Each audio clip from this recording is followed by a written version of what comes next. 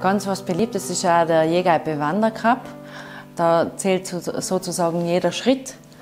Äh, die gewanderten Höhenmeter, die was Sie während unserer geführten Wanderungen mitmachen, die werden aufgeschrieben, gesammelt. Und der, was am meisten mit uns gewandert ist, der erhält einen Preis. Der erste Platz ist einmal Offline-Stunden bei uns auf der Hochalp auf 2000 Meter. Können Sie sich gut gehen lassen, da haben wir ein schönes Paket für Sie. Vier Stunden Genuss mit Sauna und ein schönes Molkebad von der Nachbaralpe.